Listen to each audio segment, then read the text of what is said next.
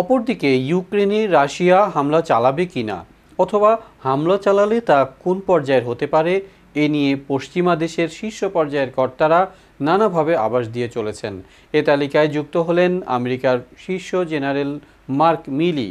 তার মতে, ইউক্রেনে রাশিয়ার আক্রমণের হবে, আক্রমণ হবে ভয়াবহ।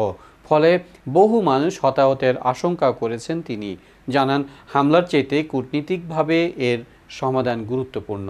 And, and you can imagine what that might look like in dense urban areas, uh, along roads, and so on and so forth. It would be horrific. It would be terrible. The President and the Secretary of Defense have authorized the United States military to increase our readiness in the event we have to reinforce or assist our NATO allies. War is not inevitable, as the Secretary said.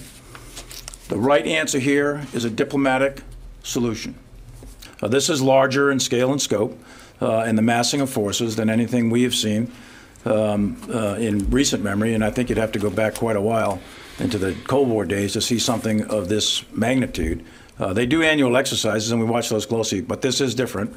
Um, so we'll we'll continue to monitor it very very closely. But yes, it does feel different.